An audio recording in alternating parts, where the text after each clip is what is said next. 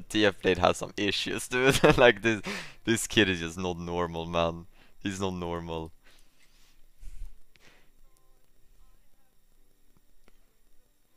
He would, he would um. So we saw this.